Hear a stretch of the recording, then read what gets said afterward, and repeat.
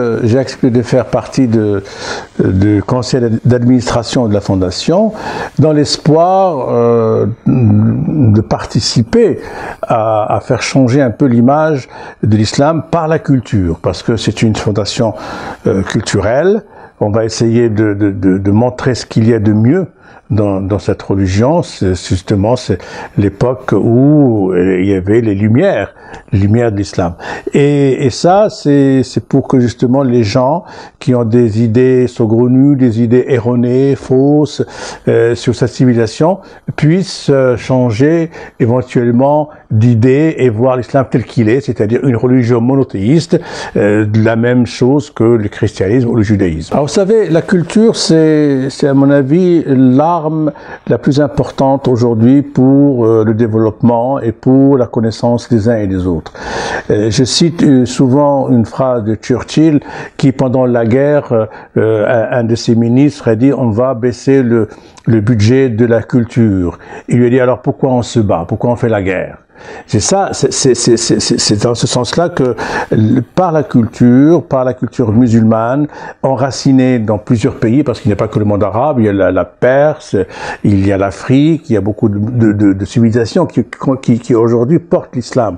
On va essayer de faire que cette idée d'un islam euh, tolérant et, normal puisse revenir dans les, dans les imaginaires et dans les, et dans les esprits des gens. Euh, si, si, nous prenons par exemple le cas des trois religions monothéistes, euh, le judaïsme, le christianisme et l'islam, elles sont basées sur à peu près les mêmes valeurs. Il y a des différences, mais des mêmes valeurs. C'est les valeurs de respect d'être humain, les valeurs, les valeurs de, vérité, les valeurs euh, de dignité. Ce sont les mêmes valeurs. Et, ce sont aussi ces valeurs qu'on peut retrouver dans les valeurs de la République.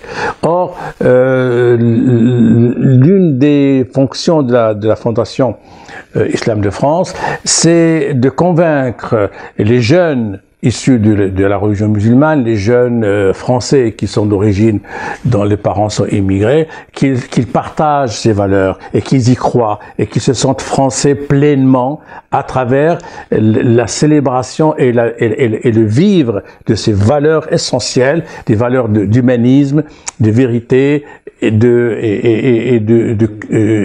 célébration de ce qui est juste, de justice et d'égalité et de fraternité. Ben, il faut soutenir la Fondation Islam de France parce euh, on n'a pas d'autre moyen de, de, lutter contre la, la, barbarie. Il y a bien sûr la sécurité, il y a la police, tout ce qu'elle fait, d'accord. Mais il y a un autre aspect, c'est qui, c'est celui de, de, de, donner, de donner, de montrer, de, de, de montrer cette culture. Et c'est pour ça qu'il faut qu'on puisse être soutenu, aidé et, et accepté, parce que les gens euh, doivent euh, venir vers nous pour comprendre ce qui se passe et, pour comprendre ce qui se passe, il faut peut-être revenir aux origines des textes et voir que finalement, on fait dire à ces textes n'importe quoi quand il s'agit de terrorisme. Et, la manière de lutter contre le terrorisme, c'est aussi par la culture, par la civilisation, par l'art, par le dialogue, par le fait d'aller vers les autres et, et, de, et, de, et, de, rendre cette, cette religion, qui est la deuxième religion de France, la rendre populaire. Autrement dit, c'est un travail énorme, c'est un défi grandiose, et, mais ça vaut la peine de d'essayer de travailler sur la culture euh, de l'islam pour mieux euh, donner de cette religion une image juste, correcte et honnête.